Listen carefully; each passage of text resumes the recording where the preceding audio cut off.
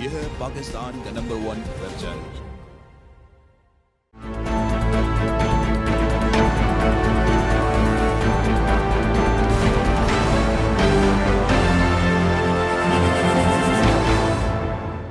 بسم اللہ الرحمن الرحیم، السلام علیکم۔ ویژن نیوز کے ساتھ میں ہوں گلاب بلوچ، اور میرے ساتھ ہیں عروج فاطمہ نظر ڈالتے ہیں اب تک کی ہیڈ لائنز پر۔ دفتر خارجہ کے ترجمان ڈاکٹر محمد فیصل نے کہا ہے کہ وزیر اعظم عمران خان کے امریکہ کے دورے سے متعلق قیاس ارائیوں سے گریز کیا جائے۔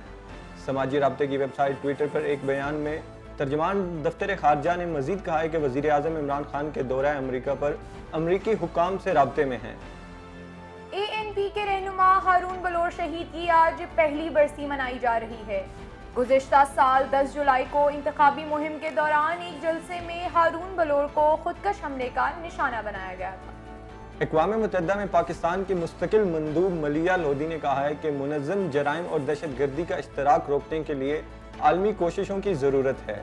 ملیہ لودھی نے سلامتی کونسل میں خطاب کرتے ہوئے کہا کہ پاکستانی قانون نافذ کرنے والے اداروں نے محدود وسائل میں انسداد منشیات میں اہم کردار ادا کیا ہے۔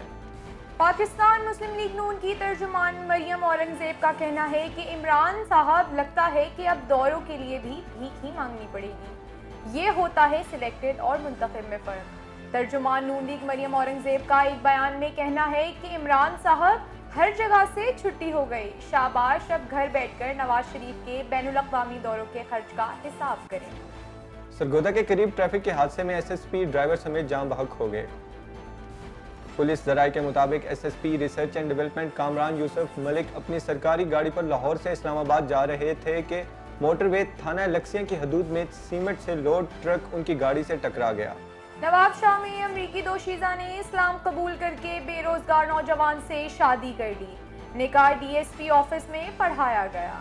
امریکی دوشیزہ سے نواب شاہ کے راشد رسول راجپوت کی انٹرنیٹ پر دوستی ہوئی تھی۔ راشد نے میڈیا کو بتایا کہ اس کی بیوی نے اسلام قبول کر لیا ہے اور اب اس کا اسلامی نام خدیجہ ہے۔ اب تک کے لیے اتنا ہی۔ مزید خبروں اور اپڈیٹس کے لیے دیکھتے رہیے ویژن نیوز